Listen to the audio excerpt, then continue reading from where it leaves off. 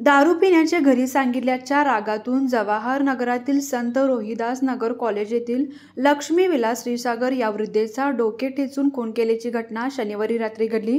या प्रकरणी संशयित प्रतीक विनायक गुरले याला राजापुरी पोलिसांनी रविवारी सायंकाळी अटक केली. संशयित तरुण सिव्हिल डिप्लोमा येथील असून तो सध्या बेरोजगार आहे. तीन आठवड्यापूर्वी संशयित प्रतीक सरनाईक माळ येथे दारू पीत बसला होता. ही घटना वृद्धेच्या निदर्शनास आली. तिने प्रतीकला खडेबोल सुनावत हे व्यसन सोडून देण्याचा सल्ला दिला होता. प्रतीकच्या वर्तनात सुधारणा व्हावी या हेतूने लक्ष्मी श्रीसागर यांनी त्याच्या कुटुंबियांना याबाबतची कल्पना दिली. या प्रकारामुळे प्रतीकला कुटुंबियांच्या रोषाला सामोरं जावं लागलं. त्यामुळे त्याच्या घरी तणावाचे वातावरण होते.